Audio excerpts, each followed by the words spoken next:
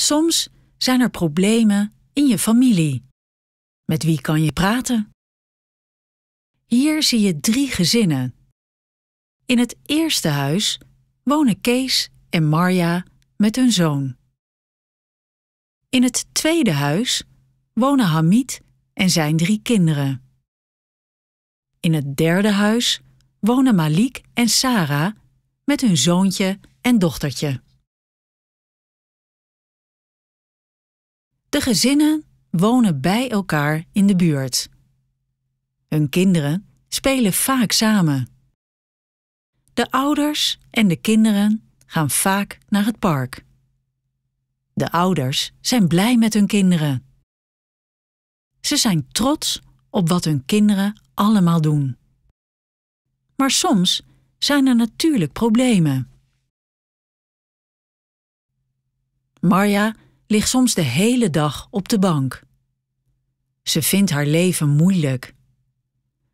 Marja en haar man Kees kunnen geen werk vinden. Daarom hebben ze weinig geld. Ze hebben schulden. Hun zoon kan daarom niet naar de voetbalclub. Marja en Kees maken veel ruzie. Hamid woont nog niet zo lang in Nederland. Zijn vrouw is vorig jaar overleden. Nu moet hij alleen voor de kinderen zorgen. Zijn zoon is vaak heel boos. Dan maakt hij ruzie met Hamid. De zoon van Hamid gaat vaak niet naar school. Soms komt hij s'nachts heel laat thuis.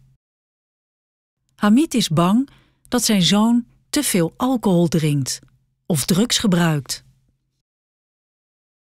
Sarah drinkt te veel wijn. Ze is vaak bang en gaat bijna nooit naar buiten. Ze is vaak ziek van de alcohol en is dan nog banger. Soms zorgt ze niet goed voor de kinderen. Haar man Malik heeft twee banen, overdag en s avonds. Hij is vaak weg. Op een dag krijgen de ouders een brief. In de brief staat dat ouders en verzorgers hulp kunnen krijgen. Bijvoorbeeld als ze schulden hebben. Of als een kind verkeerde vrienden heeft. Of als een kind drugs gebruikt. Of bij andere problemen.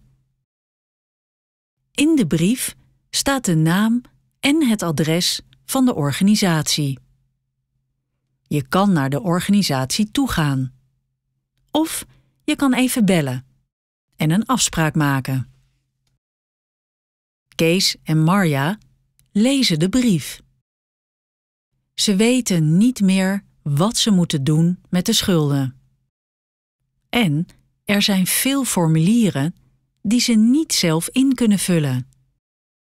Ze hopen dat iemand hen daarmee kan helpen.